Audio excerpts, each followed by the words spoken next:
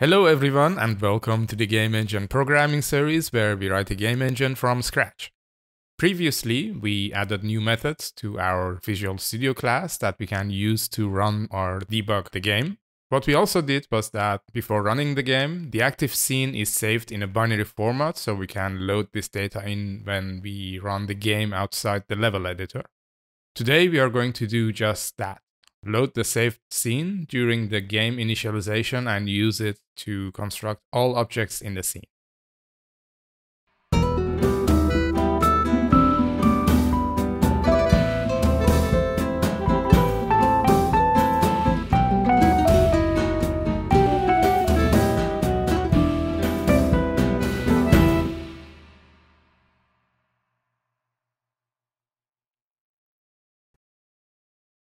Here in the engine project, I'm going to add a new folder for our content.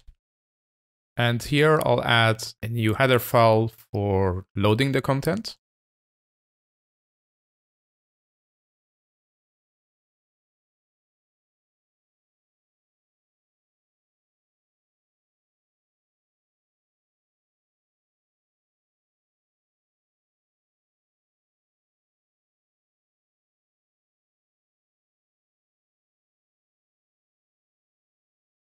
Now the way I'm going to implement these methods is for when we are developing the game. So when we are not shipping the game, we are going to use these methods. Because when we are going to make a version of the game that we can ship, then we pack all the data for the game in a very different way and we have to also load and unload those in a very different way. And therefore I'm going to put this in a if def block again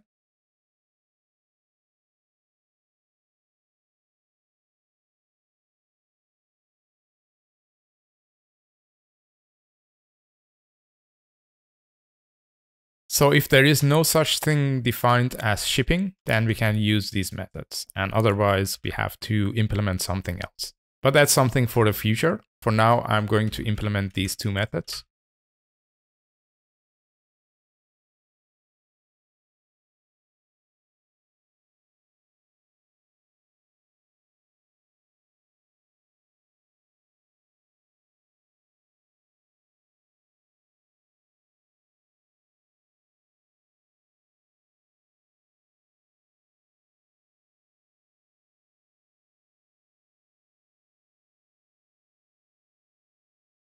In this load game method, I'm just going to read the content of that binary file that we wrote to the location of this game.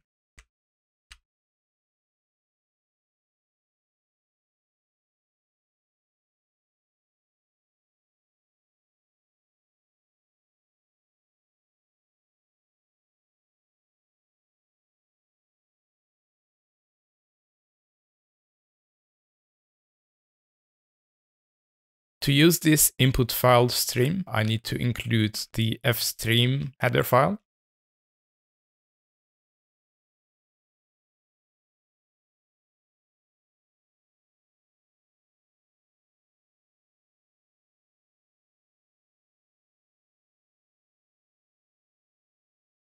This is a rather slow way of reading an entire file in a buffer. This basically just reads the file that we just opened here character by character and then puts them in a buffer.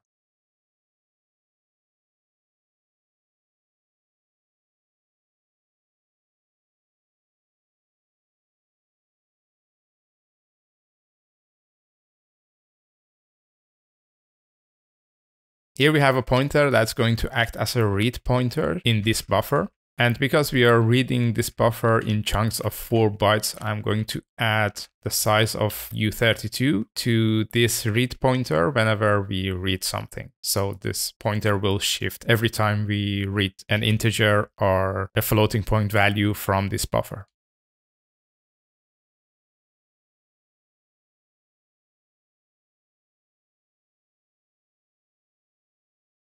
For example, this line reads the number of entities, which was the first thing that we wrote to this file. And it's a four byte integer. And after reading that, we move the read pointer by four bytes.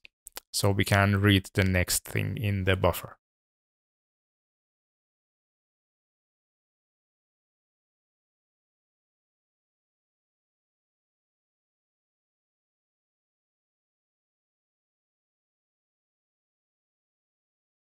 Now to be able to create game entities, I need to include the headers for game entities and their components.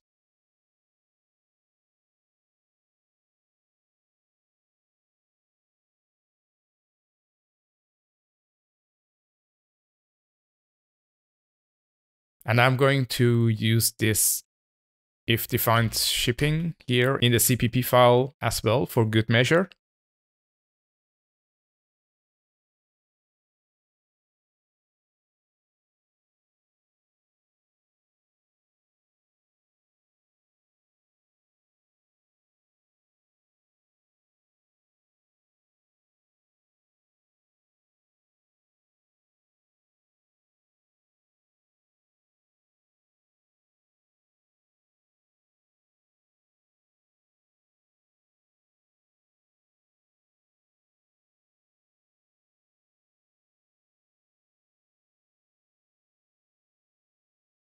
Here we have a bit of space so we can define entity information for each entity that we read from this binary file. And then we read the entity type, which we don't use yet. And after that, there is a number of components that this entity has. And for each of those components, we are going to read the information.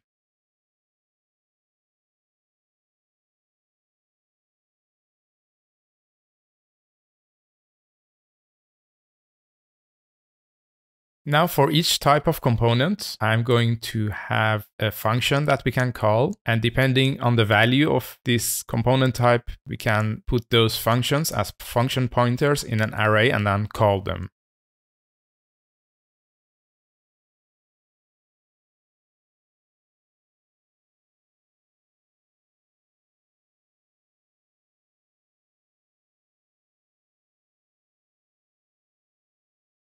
So we will have functions of type component reader, and those are functions that will return a boolean depending on whether they succeeded or not. And they'll take as parameters a pointer reference to this buffer, so they can change the read pointer, and they'll fill in this entity info that we give it by reference.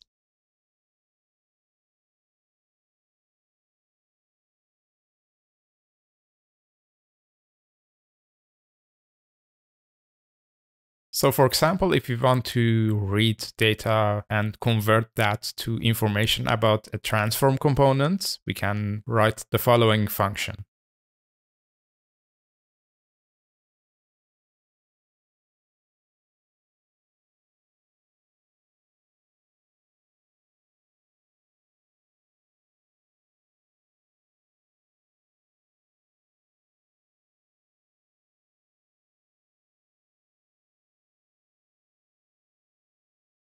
So remember that this entity information has pointers to the different kind of component initialization structures. And if we are going to set those pointers, first we need something that holds that information. And second, we check if that pointer is not already set. Otherwise, something is wrong. So to have something that holds the information about the transform component, we will have a variable here.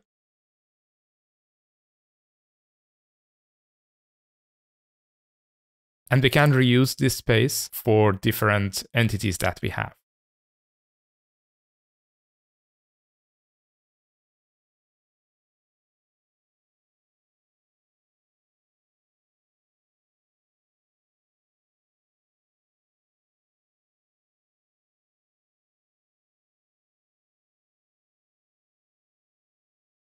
Here we copy bytes from this data buffer and the number of bytes that we copy is the same as the number of bytes that's required for the position component of transform. And then we move the read header. And then we can do the same for rotation and scale. But before doing the rotation, of course, we need to convert the rotation from a three component Euler format to the quaternion format that is accepted by the engine. So first we will read it to this temporary location.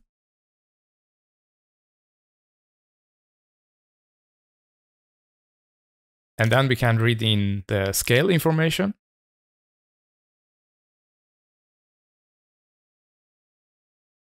And here we can convert this rotation to quaternion format and then write it to transform info.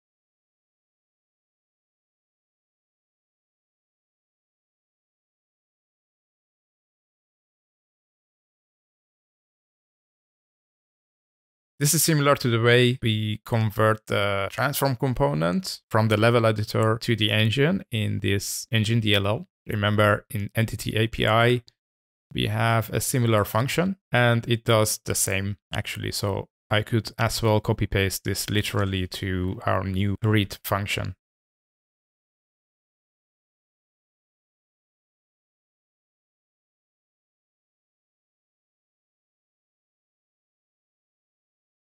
And the reason that I am still using this Windows specific DirectX math library is that we are only using these methods during game development. And when we are doing game development, well, of course, we are using Windows, right? The level editor and Visual Studio are Windows only. So the only time that we are going to use these methods is when we are developing the game, and that happens in Windows environment. So whenever we are going to load the shipping game, so when this happens here, then we have to find another way to write this in a platform independent way.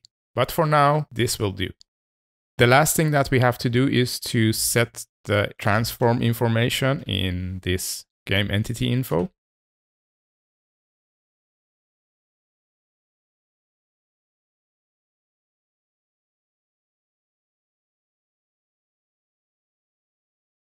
Oh, that's a good catch from Visual Studio that says you're going to write four floating point values to an array of three floating point values. And that's right. So we shouldn't be doing that.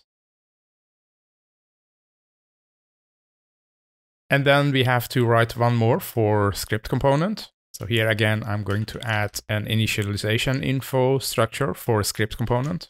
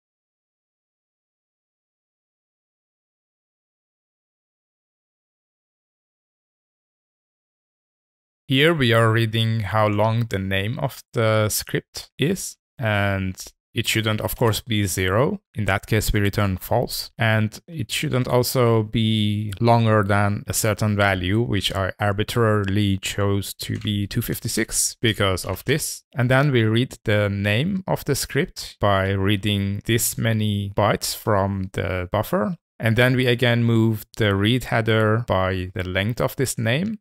And then we put a zero at the end of this array, just after the last character of the script name, to make it a zero terminated C string.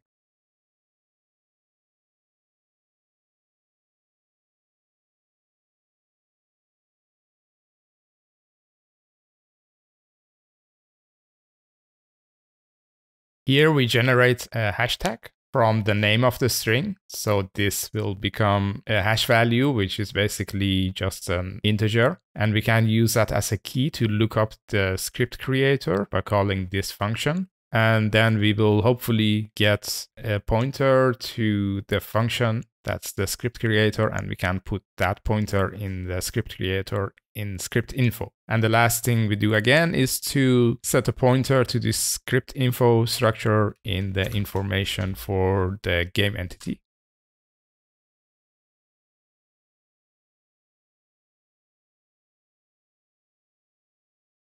And we return true if this script creator function pointer is not null. And then we will have to create an array of these functions so we can call them here in load game.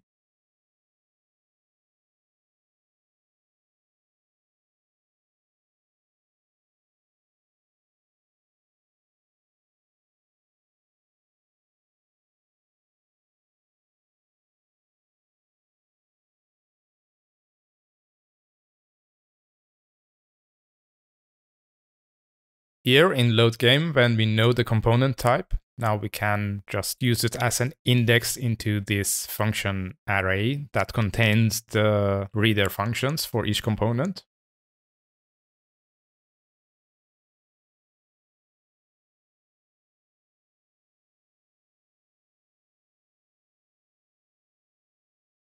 Here we call these functions depending on the type of the component that we are reading. And if any of these functions returns false, we return from this function and return false. So this function will fail. And after we have read all the components, we are ready to actually create this game entity.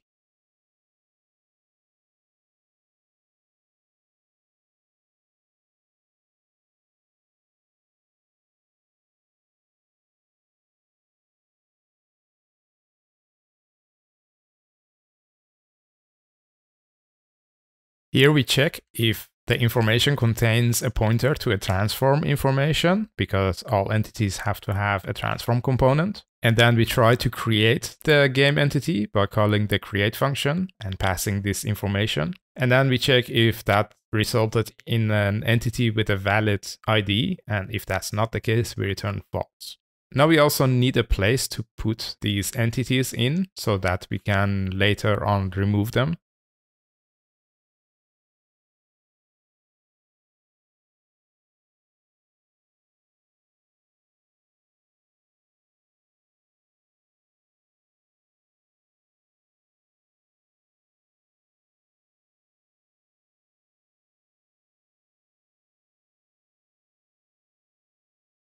Here, for each entity that we created, we put it in the array of entities. And then we check if we read all the data that's in the buffer. So the read header should be past the end of the data buffer. And after that, we return true. To unload the game, we just throw away all the entities.